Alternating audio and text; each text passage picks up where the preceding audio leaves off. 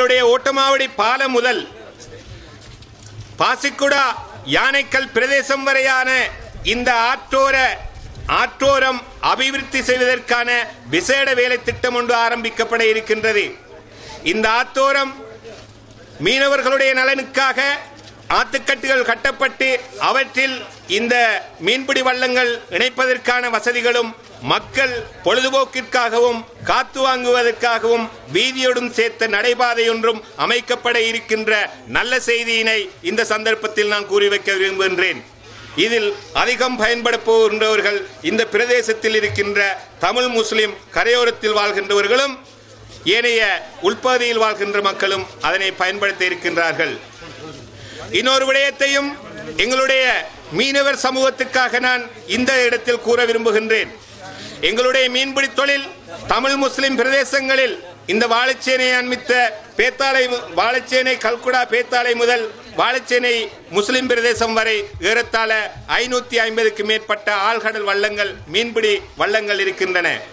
உங்களுக்கு தெரியும் கடந்த வருடம் டிசம்பர் மாதம் நான் நோவையைச் சேர்ந்த ஒரு குழுவினரை அழைத்து வந்து இதே துறையில் இருந்து நாங்கள் கல்குடா கடற்கரை வரை சென்று வந்தோம். கடல் வாய் வரை சென்று வந்தோம். அவர்கள் நோவே அரசாங்கத்தின் பிரதிநிதிகள் எங்களுடைய கௌரவ முதலமைச்சர் அவர்களால் இந்த பிரதேசத்துக்கு அனுப்பப்பட்டவர்கள். அவர் இந்த துறையில் இருந்துதான் அந்த நோவே டெலிகேஷனை நான் இந்த கடல் பிரதேசத்துக்கு அழைத்து சென்றிருந்தேன். அவர்களுடைய நோக்கம் இந்த பிரதேச மீனவர்களை மீனவர்களுடைய தொழிலை வளம்படுத்துவதற்கான ஆய்வுகளை மேற்கொண்டிருக்கின்றார்கள். மீனவர்களை பயிற்றுவிப்பது மீன்பிடி வள்ளங்களை கையாள்வது தொடர்பான கடலில் உள்ள தொழில் நிலைகளை மேம்பாடு செய்வது தொடர்பாக நோவே அரசாங்கத்துடைய உதவியை பெற்று அந்த குழுவினர் இங்கு வருகை தந்திருந்தார்கள். அதனால் இந்த பிரதேசத்தில் இருக்கின்ற பல ஆயிரம் தமிழ் முஸ்லிம் குடும்பங்கள் இந்த மீன்பிடி துறையை அபிவிருத்தி நவீனமயப்படுத்தப்பட்ட முறையில் ஏனெனில் உலகிலேயே மீன்பிடி துறையில் அதிநவீன யுக்திகளையும் கருவிகளையும் பய- அனுபவங்களையும் கொண்டவர்கள் நோவே நாட்டைச் சேர்ந்தவர்கள். அந்த நோவே நாட்டைச் சேர்ந்தவர்களை இங்கு அனுப்பிய இந்த முதல்வருக்கு முதல்வர் அவர்களுக்கு இந்த சந்தர்ப்பத்தில் நான் உங்கள் சார்பாக மனமார்ந்த நதிகளை தெரிவித்துக் கொள்ள விரும்புகின்றேன்.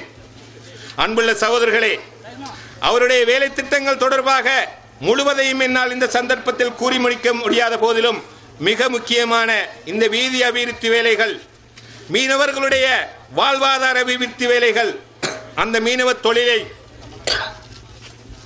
மேம்பாடு செய்வதற்கான யுக்தியினை நோவையிலிருந்து பெற்றுக்கொள்வதற்கான வழிவகைகளை செய்திருப்பதை இந்த கரையோரத்தை மக்களுடைய பொழுதுபோக்கிடமாகவும் மீனவர்களுடைய வள்ளங்களை கட்டக்கூடிய பாதுகாப்பான இடமாகவும் ஒரு நடைபாதையும் கொண்டதாக ஒரு பாரிய ஒரு வேலை திட்டத்தை தொடங்க இருப்பதை இந்த மூன்று விடயங்களை மாத்திர நான் இந்த சந்தர்ப்பத்தில் கூறிக்கொள்ள விரும்புகின்றேன். மாதம் என்ற விடயம் இன்று அரசாங்கத்தினால் அங்கீகரிக்கப்பட்டு இன்ஷா அல்லாஹ் இரண்டாயிரத்தி பதினெட்டு டிசம்பர் மாதம் வரை இந்த உள்ளு இந்த கிழக்கு மாகாண சபையின் ஆயுள் காலம் நீடிக்கப்பட்டிருக்கின்ற அந்த நல்ல செய்தியை இந்த சந்தர்ப்பத்தில் நான் கூறிக்கொள்கிறேன். கௌரவ முதலமைச்சர் அவர்களிடம் உங்களுடைய அனுமதி இல்லாமல் இந்த விடயத்தை இடத்தில் அறிவிப்பதற்காக என்னுடைய வருத்தத்தை தெரிவித்துக் கொள்கின்றேன்.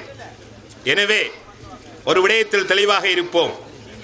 பணி செய்பவர்களை மக்களுக்காக பணியாற்றுபவர்களை நாங்கள் ஊக்குவிக்க வேண்டும். அவர்களுடைய கரங்களை பலப்படுத்த வேண்டும். அவர்களுக்கு பக்கபலமாக இருக்க வேண்டும். கிழக்கு மாகாணம் தமிழ் முஸ்லிம் சிங்களம் ஆகிய மூன்று இனங்களையும் கொண்ட ஒரு பிரதேசம். கடந்த காலங்களில் நான் பா- நாங்கள் பார்த்திருக்கின்றோம்.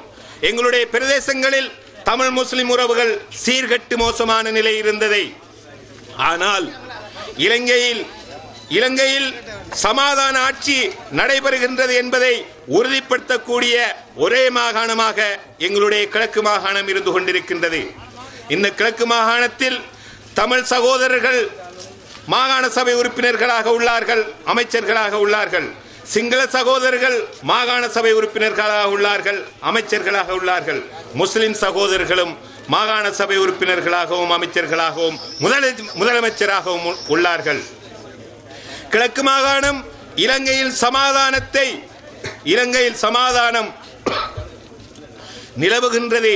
உயிரோடு இருக்கின்றது என்பதை நிரூபிக்கின்ற ஆதாரபூர்வமான ஒரு ஆட்சி கிழக்கு மாகாணத்தில் இடம்பெற்றுக் கொண்டிருக்கின்றது. அது இந்த முதல்வருடைய தலைமையில் தமிழ் முஸ்லிம் சிங்கள தலைவர்களை கொண்டதாக அமைச்சரவையும் அந்த மாகாண சபையும் இயங்கிக் கொண்டிருக்கின்றது.